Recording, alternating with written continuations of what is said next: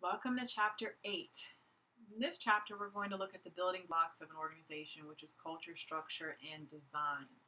By the time you're done reading this chapter, you should be able to explain the importance um, and why it's important for managers to align a company's vision and strategies with their culture and structure, and how you can go about finding out your organization's social glue in its normal way of doing business and what can be done to an organization's culture to increase its economic performance. You should also be able to answer um, how for profit, nonprofit, and mutual benefit organizations are structured, and when you join an organization, the seven elements that you should look for, and um, how would you describe those seven organizational structures.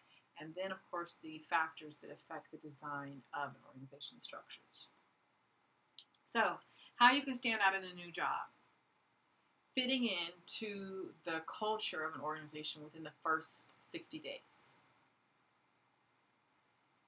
First things first are our first impressions and being aware of the power in first impressions, the power of how you first engage with each and every person that you come in contact with. It's so important. It's so powerful because you can make or break yourself within those first few moments. Because when we meet people, we immediately place an imprint on them and we have a judgment and a stereotype and a bias and we immediately confirm who we think they are based on their engagement and interaction with us. So being mindful of that making sure that you come in 30 minutes early and you stay a little late to see how people behave is important to see. You get to see a lot when you come in early and you stay a little late. They and but also people get to see that in you. Getting to know some people and listen to what they have to say about the company, about the organ, about the um, organization's leaders, about the culture, um, about the ebb and flow, about you know, the quote unquote, this is the way we do things. And it's important that you make it easy for other people to give you feedback. Don't be closed off. Don't think you're Miss or Mr. Know It All. Be open and receptive to that feedback because it makes you um, more embedded into the culture where you are more of the, of the team and less of an outsider. And of course, over deliver. You say you're going to do something, do it and then throw the cherry on top of the sundae. Just sweeten the deal even more. So that's how you can stand out and be a star. so, what does it mean to fit in? Um, you have a job interview. What is the fit? What is it that that that point where they know that you will make it work and you will be a good fit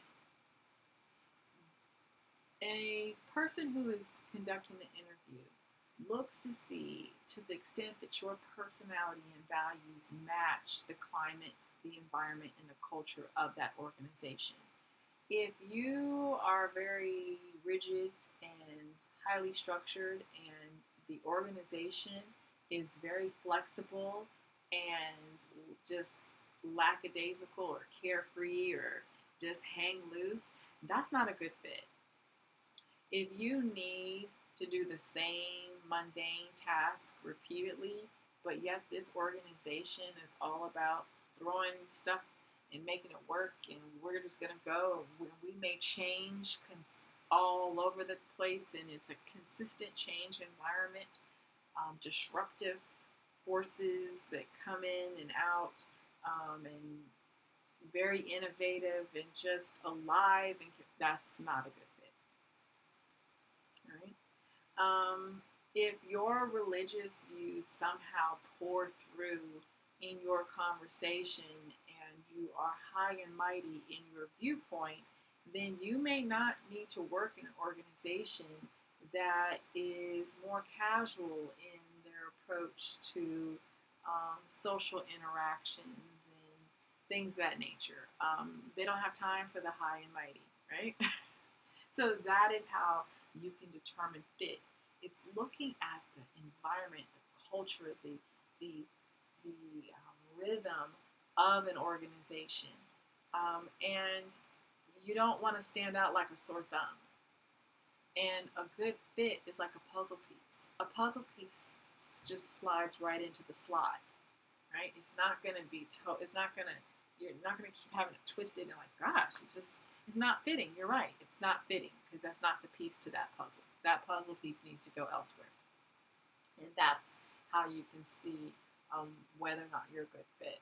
And we look at some of the various assumptions that we make and how it affects how work gets done. And when we look at culture, it's we've got our shared, um, taken for granted implicit assumptions, right? We just it, there's certain things we just take for granted. And this is something that the group holds near and dear in how we determine what we perceive, think about, and how we react to various environments. This is what we also call our corporate culture, and it always starts at the top, right? I, I, say I will say this uh, through every chapter anytime I can mention culture. Culture always stop, starts at the top. We have our founders' values, right?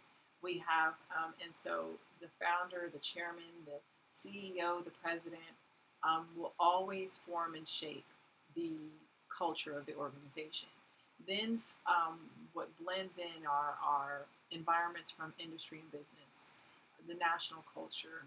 You know, you have what your your the country that you that your company is headquartered is located in. You have that national culture that bleeds through.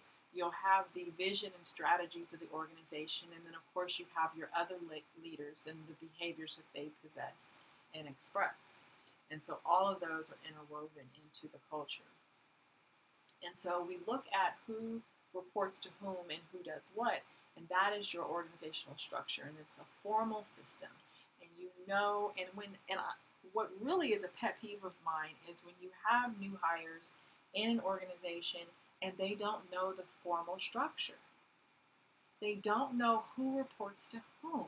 They don't know who does what, who coordinates and motivates the members of the organization so that things can actually be accomplished.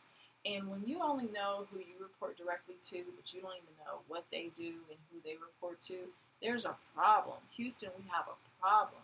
And every, um, I would say twice a year, an organization should review their org chart, see if there's any changes to it, adjust as needed, put that out there, and be very clear about who reports to whom and who does what.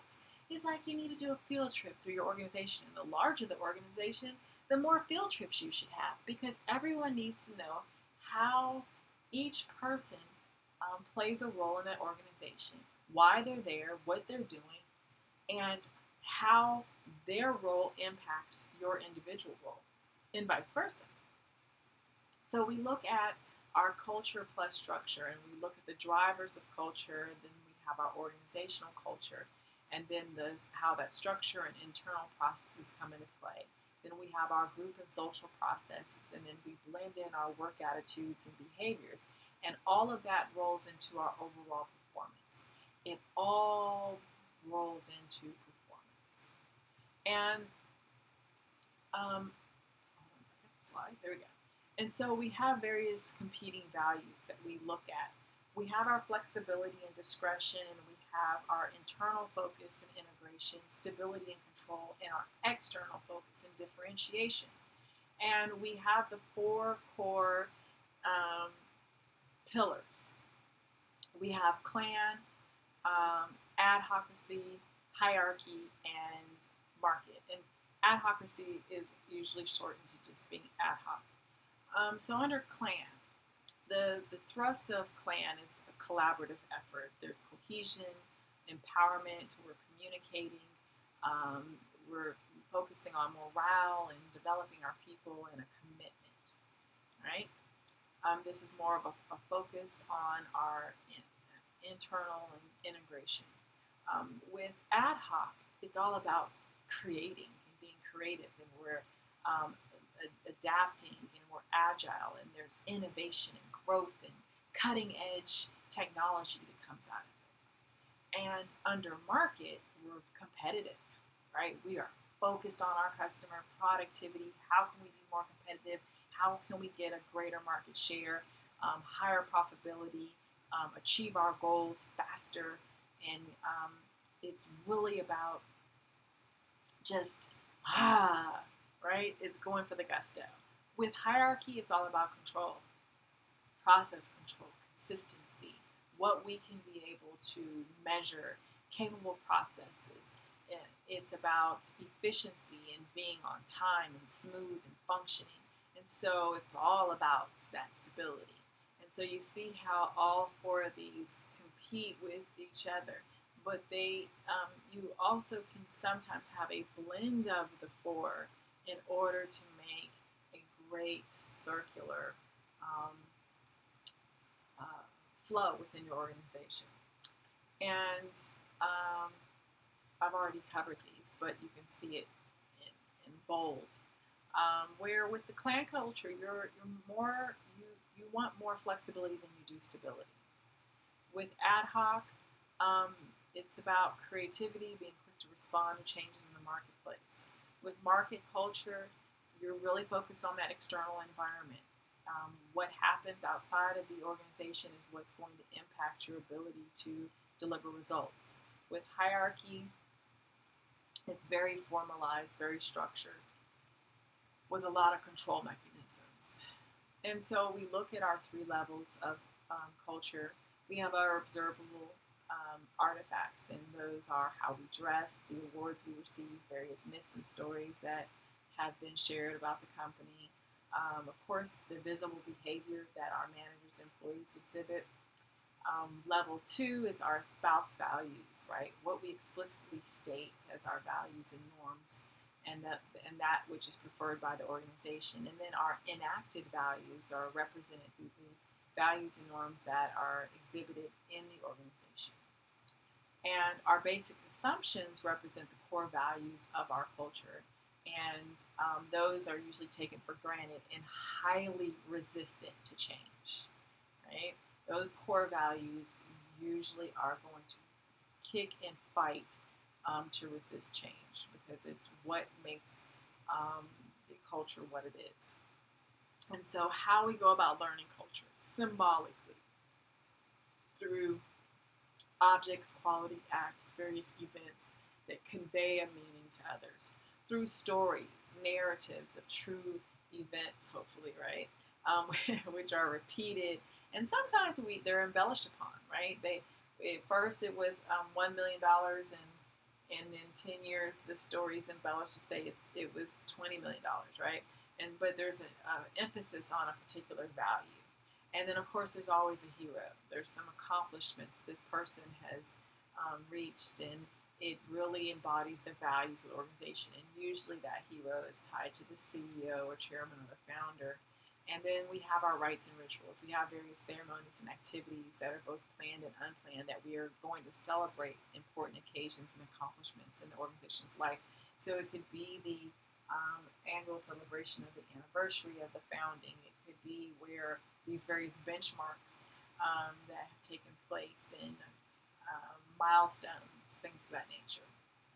It could also be when we celebrate um, the employee anniversaries of when you know every year when they've um, the, you know someone's been there five years, twenty years, fifty years. So in Mary Kay Cosmetics, which I was a proud sales consultant with Mary Kay Cosmetics, um, the best salespeople receive pink Cadillacs in special awards ceremonies. And oh, I could not wait to be a pink Cadillac producing director. Um, is this an example of symbol, value, rite or ritual, or both symbol, rite or ritual? Both A and C. Which one? If you said D, you are correct. It is both. Um, it's rite or ritual and it's symbol. Right? Because we have our word ceremonies and we have the pink Cadillac. That's that symbol. Symbol of success you know you made it when you're driving that pink Cadillac. So, what organizational benefits are associated with um, what organizational culture? So, when we look at the various variables and then the strength of relationship of not significant through strong, um, under job satisfaction, you see um, clan um, is very strong, um, and with the relationship, um, it is also very strong under organizational you see that under objective growth, clan is not significant, right? It's Mhm. really not significant, as well as under objective profit. When you look at um, market, market is very strong in their subjective innovation and subjective growth is moderate as well as quality of products and services also moderate. With ad hoc, um, it stays moderate for um, job satisfaction, organizational um, commitment, as well as quality of products and services. And then, of course, you see it weakens um, with the last four categories. So you can see that visually. Now, the culture of an organization matters. It's very um, important because employees are happier with clan cultures, right? You a seems like a family, a unit, a team. It's cohesiveness, and so there's various elements of these cultures that can be used to boost both innovation and quality within an organization. And when you change culture, it won't necessarily boost performance financially, but it just might. Um, and so, if you have a very toxic culture, you imagine if you then adjust that culture into a fruitful and healthy and well-being focused culture, and amazingly, you could see um, perform productivity go up. And usually, when productivity goes up, you can possibly also track a higher financial performance rating. And then, of course, market cultures tend to produce better results. So there's various ways that we can change through formal statements, um, slogans and sayings, rites and rituals, stories, legends, and myths, leaders' reaction to crises, and of course through role modeling, training, and coaching. I truly think that one of the most effective ways to change culture is through um, role modeling, training, and coaching. Um, I believe that if the top does it, if the top trains it, if the top reinforces it through coaching, and then it is reinforced and it is modeled and is trained all the way through the organization, then all the other things are just the extra layers of the sundae, right? Um, but number six is the ice cream.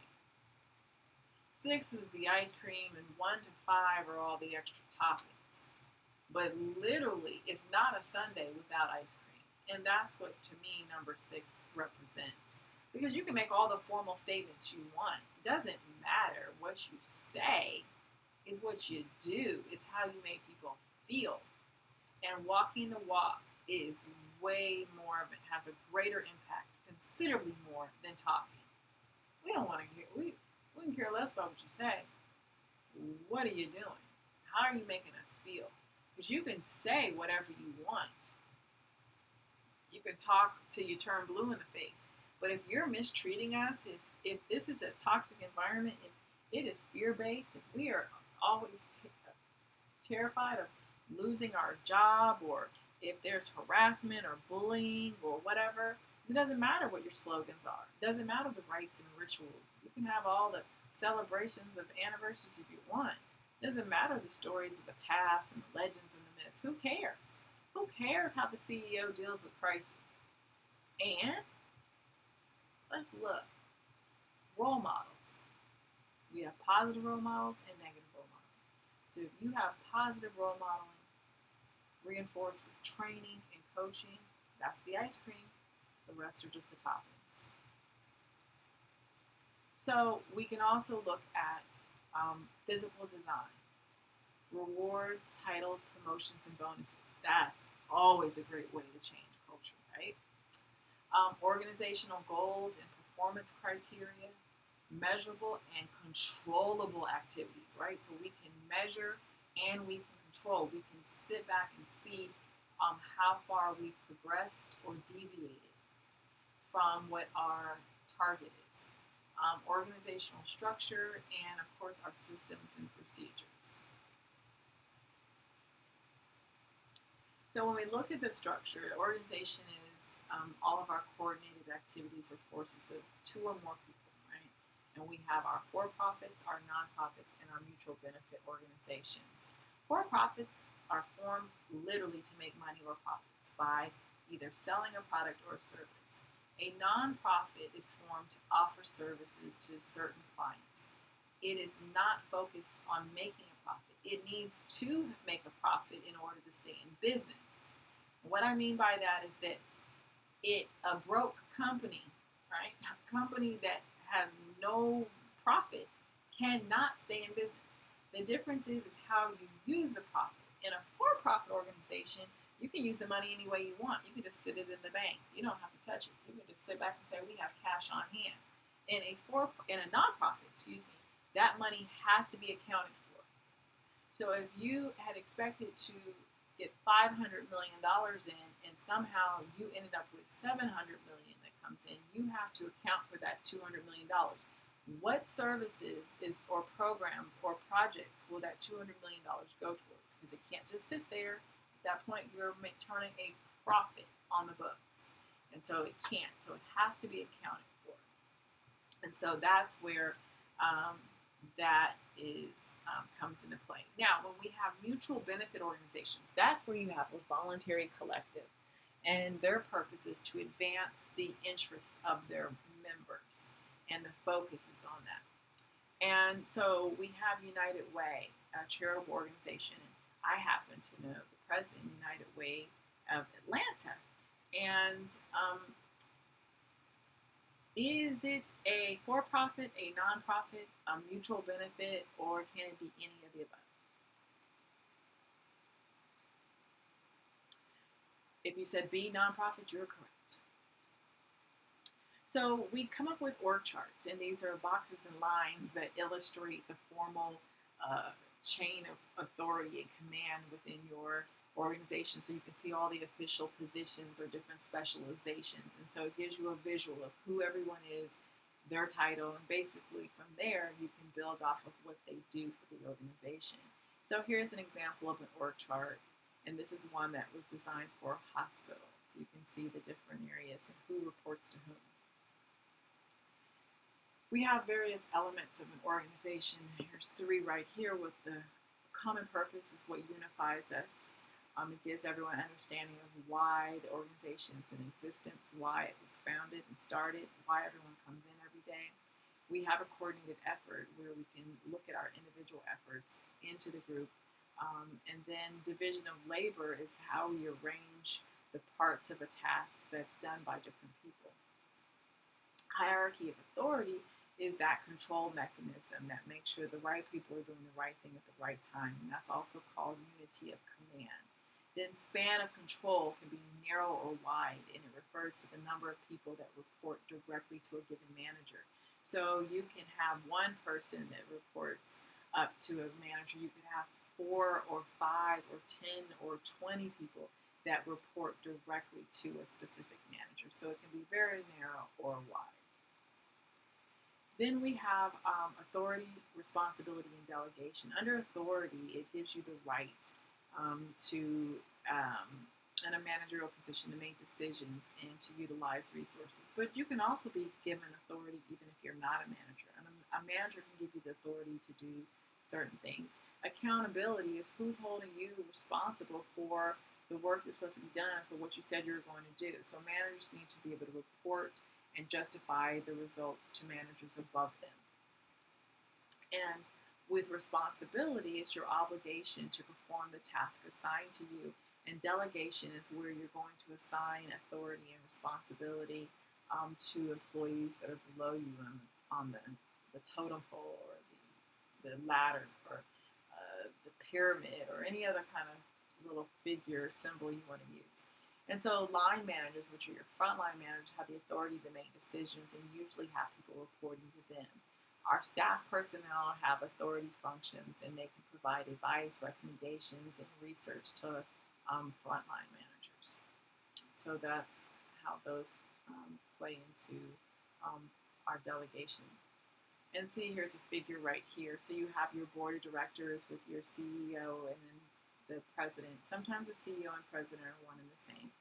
Um, and then, of course, you have your strategic planning advisor and your legal counsel who um, support the CEO, and then um, the president has a cost containment staff, and then um, who reports directly up to the president happens to be the executive administrative director and the executive medical director.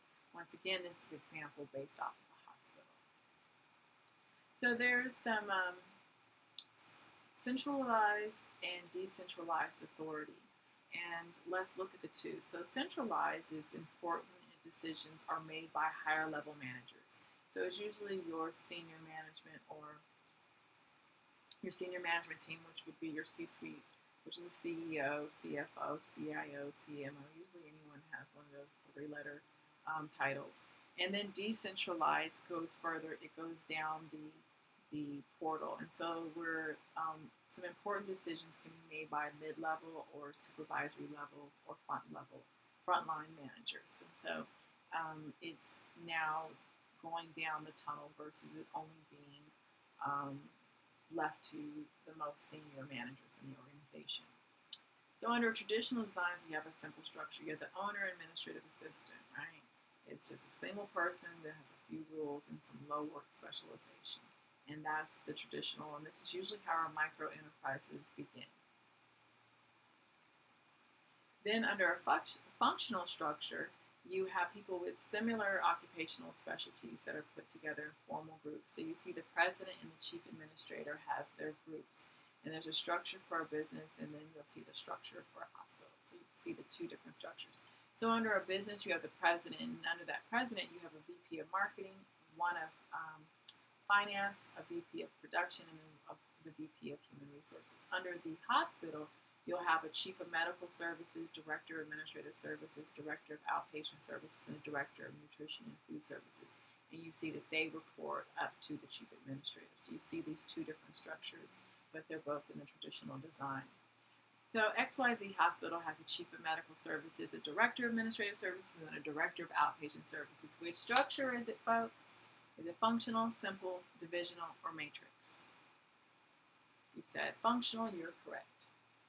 So, under a divisional structure, um, is you'll see the three different. We have a product division, a customer division, a geographic division. Um, and so you'll have diverse occupational specialties that are put together in formal groups by similar products or customer types or geographic regions. And so when we look under the different product types, we have a president who is over, and then um, the those the divisions that that president is responsible for is you see motion pictures and television, um, music, magazine and book, and internet products divisions. So those are the four divisions that that that that president um, is responsible for.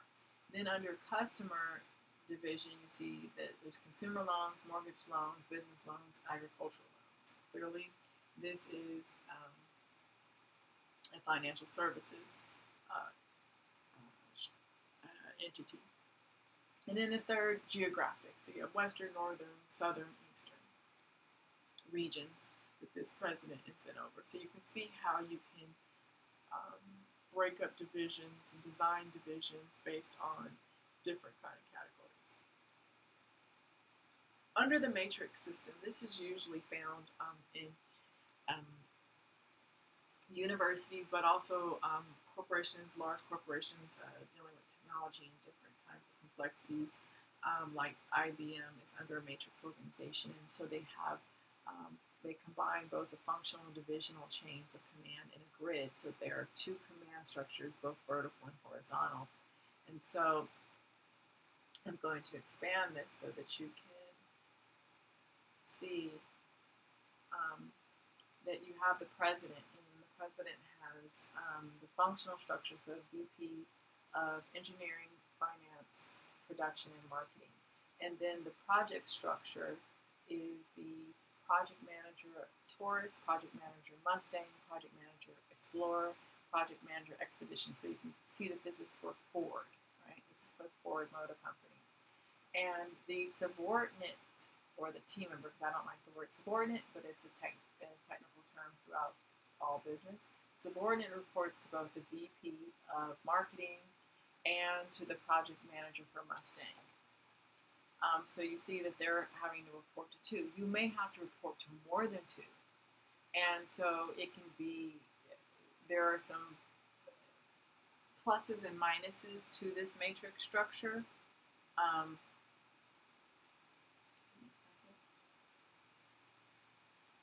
um, and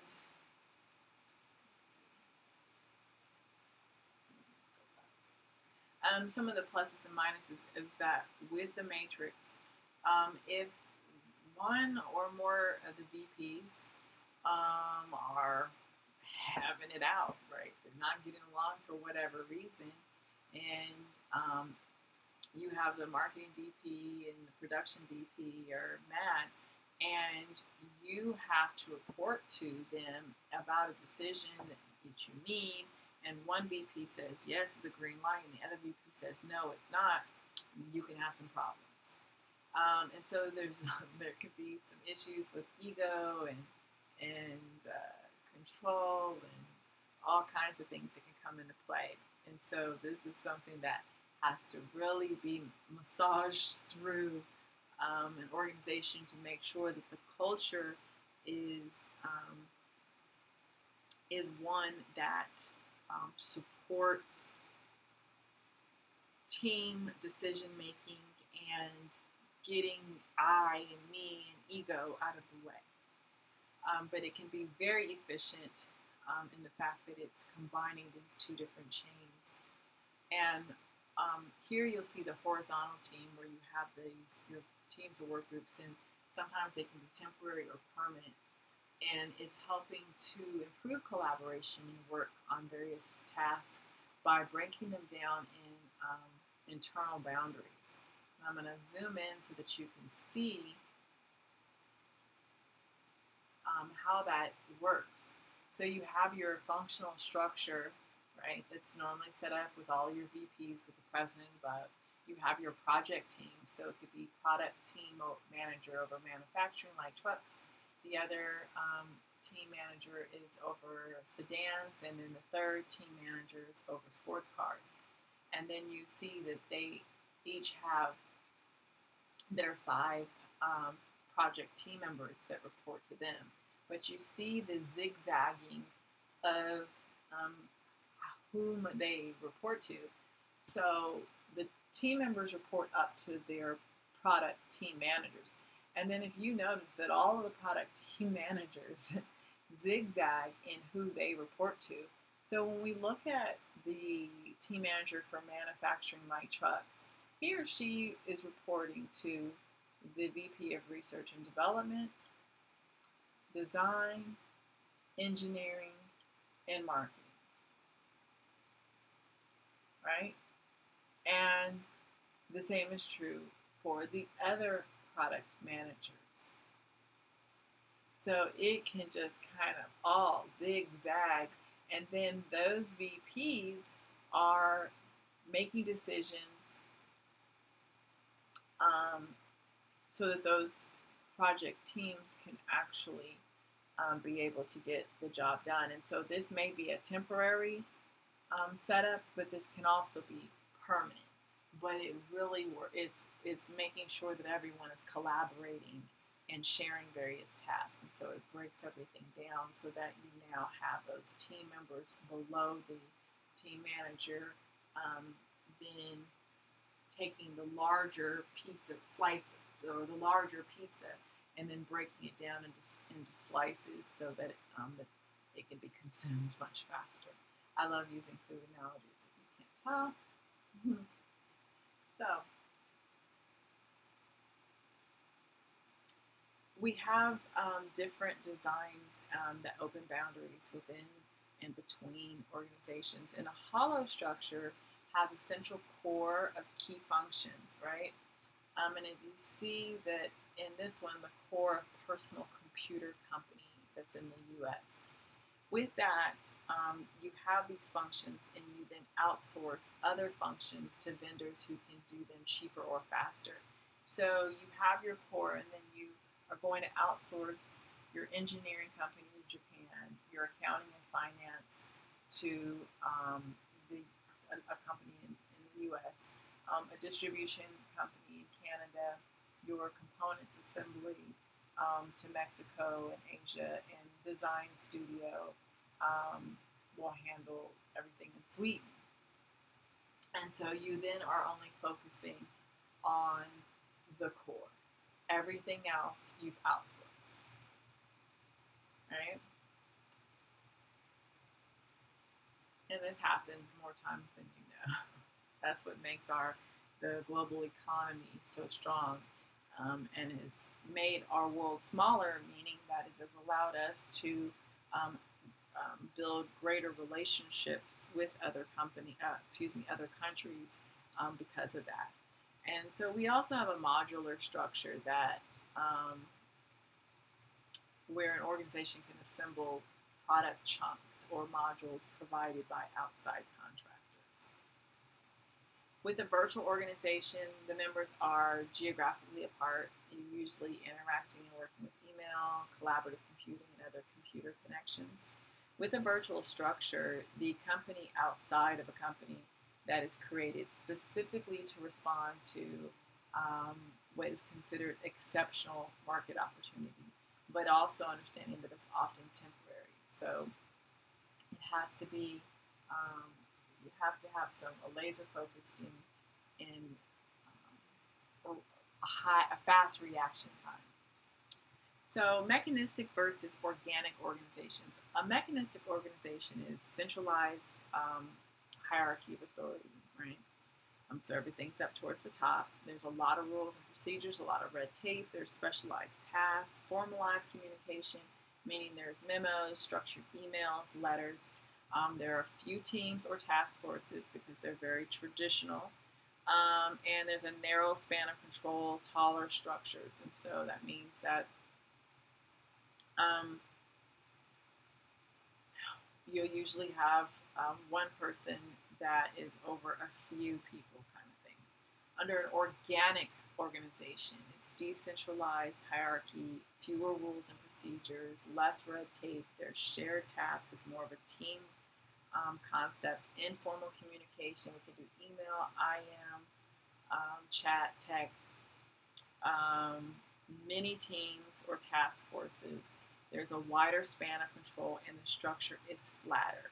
And the difference between a flat structure and a taller structure is taller structures, there's usually, you know, six layers between the front line and the senior level team members. Um, in a flatter structure is probably three levels, right? Um, and so usually the flatter the structure, and oftentimes the quicker decisions can be made because there's less chains and channels and ladders and rungs you have to go up to in order to get a decision made. So we have differentiation versus integration. Differentiation is the tendency of the parts within an organization to disperse and fragment. So I look at that as you have puzzle pieces that um, are all part of the puzzle, but they're all spread out. Integration is in when you bring those pieces together to achieve a common purpose. Those pieces come together, and bam, you see the, the beautiful um, painting that um, had been fragmented and now is together. Um, so those are the two. So with that, that is the end of um, chapter 8. If you have any questions, you know how to reach me. Thank you guys for everything. Appreciate it.